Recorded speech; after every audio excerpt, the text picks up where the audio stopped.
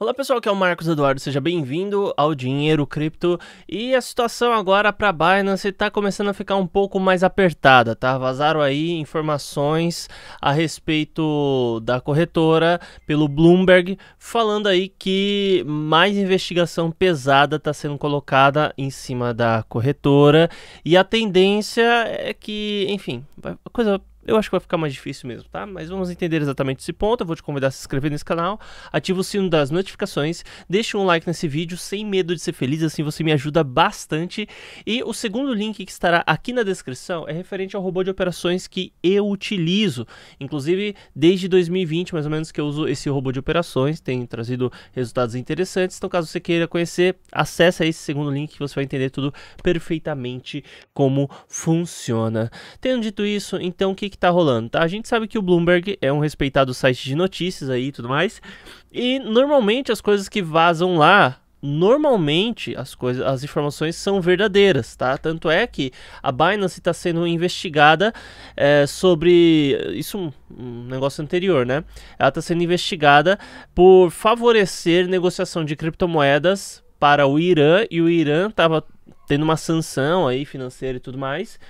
É, e isso vazou na Bloomberg, daí depois a gente foi ver e era verdade, várias outras coisas também. Então eu não duvido que isso daqui realmente esteja acontecendo.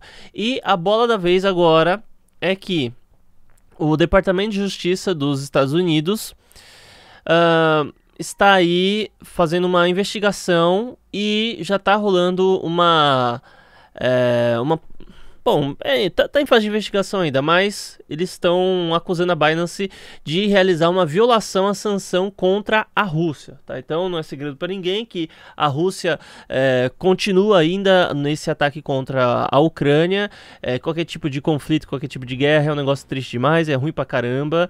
Mas falando a respeito da parte financeira, né, os grandes países se unem aí e falam assim: ó, ninguém mais pode negociar com a Rússia a partir de agora. E qualquer tipo de negociação você vai ter sérios problemas com a gente. E o que acontece é que a Binance ela tem uma separação muito clara entre Binance norte-americana e Binance Internacional. É, aqui no Brasil, assim como na maior parte do mundo, opera a Binance Internacional e só nos Estados Unidos é que você tem lá a Binance norte-americana, Binance US. Isso porque o governo norte-americano tinha pedido para eles, tinha mandado na verdade, né? Se eles não fizessem isso, simplesmente eles não poderiam existir em território norte-americano. Mas eles não queriam que, por exemplo, um brasileiro comprasse Bitcoin de um norte-americano. Não queria que o norte-americano é, comprasse Ethereum de um japonês, por exemplo. Então a ideia é que o norte-americano ele vive em um sistema fechado em que ele não possa negociar com pessoas de outros países. Essa é a ideia do governo norte-americano. A Binance obedeceu. A Binance criou a unidade US e continuou com a Binance Internacional. E agora só, só para você ter uma ideia, embora sejam empresas diferentes, ela tem o mesmo CEO, né? O CEO da Binance norte-americana é o Chapeng Zhao, CZ, e o da Internacional também. E a investigação que está rolando é a respeito da Binance Internacional. Então, peraí.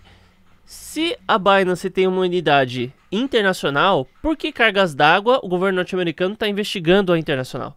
Sendo que a competência dele seria só com a Binance Nacional.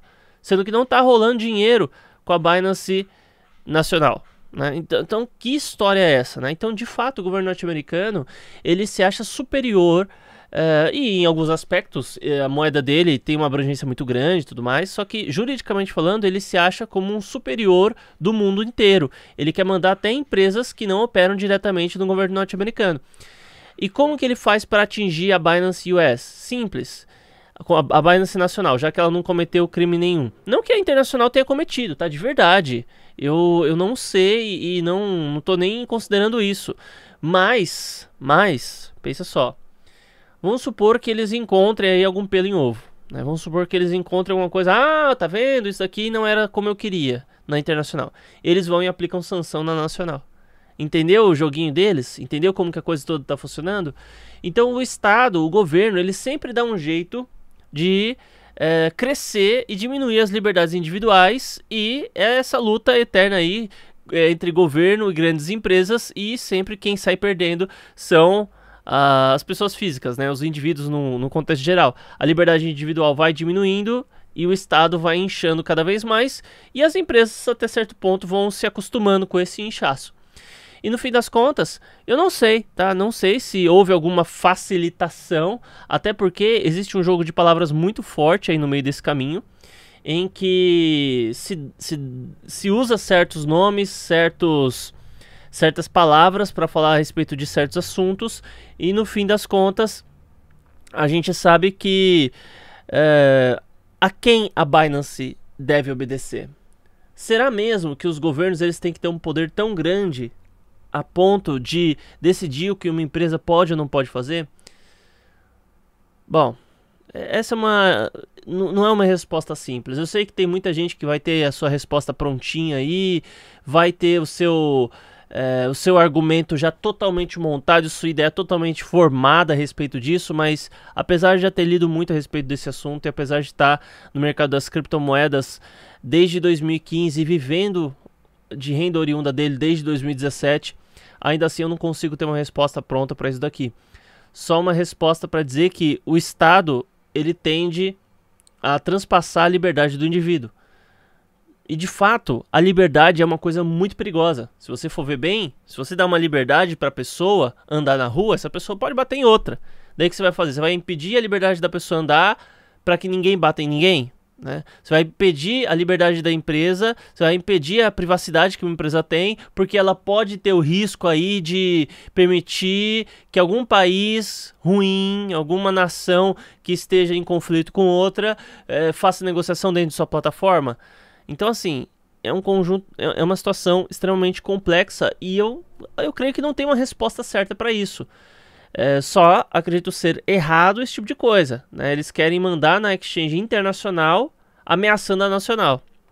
Então, para mim, a situação não tá certa, não. Tá, tá, tá bom? Então é isso. Muito obrigado por assistir e até mais. Opa!